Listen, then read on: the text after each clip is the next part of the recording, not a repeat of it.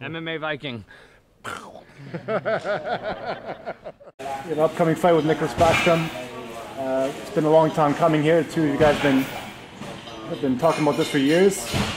Uh, what, if any, holes do you see in Backstrom's game? Well, e- everybody ha- has holes, and uh, I will I will keep it in secret, and you will see it on, on the fight night. Any predictions for the fight? Yeah, it's gonna end before the full time, that's for sure. And my hand will be ready. I will finish him. Of course, I'm always looking to finish.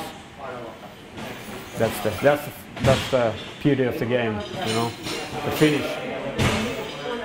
What message would you like to give to, to Backstrom? The backroom. Uh, you're a good sport.